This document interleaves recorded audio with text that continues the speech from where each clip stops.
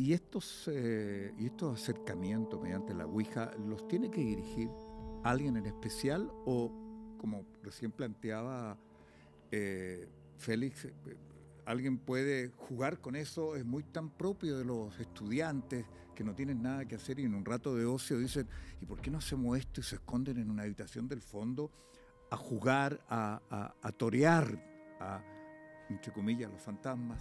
¿Eso es prudente?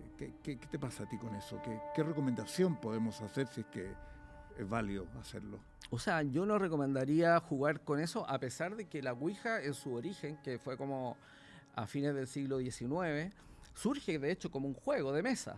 Es el origen de la Ouija.